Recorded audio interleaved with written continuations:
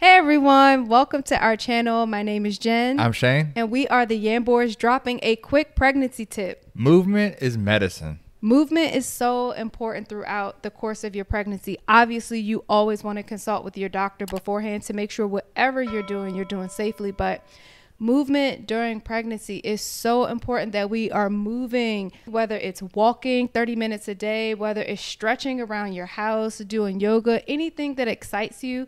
You definitely want to make sure that you are constantly preparing and strengthening your body. This is going to help you as you prepare for delivery so that you have a smooth delivery. And not only that, movement helps so that your pelvic floor is nice and strong, your core is nice and strong, and you have a smooth recovery as well. Those are some incredible points. Mm-hmm. And fellas, don't don't leave your lady hanging. No. Don't leave your lady hanging. Make it fun. Yes. Make it an enjoyable experience for both of you guys.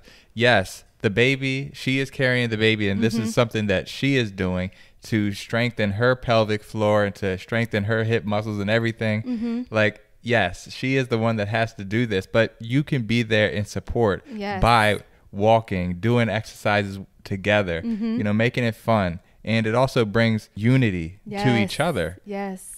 Working together under the same goal of mm-hmm. having a healthy baby mm-hmm. and a healthy the, pregnancy. And a healthy pregnancy the man should be there in support of that as well, mm-hmm. in supporting his lady and supporting the relationship and supporting the baby that is going to be born in months to come.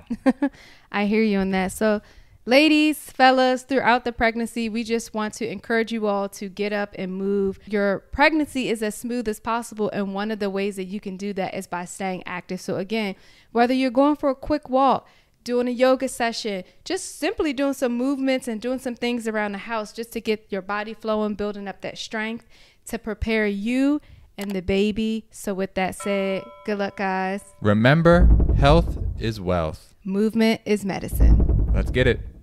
My name is Shane. I'm Jen. And this is the Yambors. Bye, everyone. Enjoy the journey.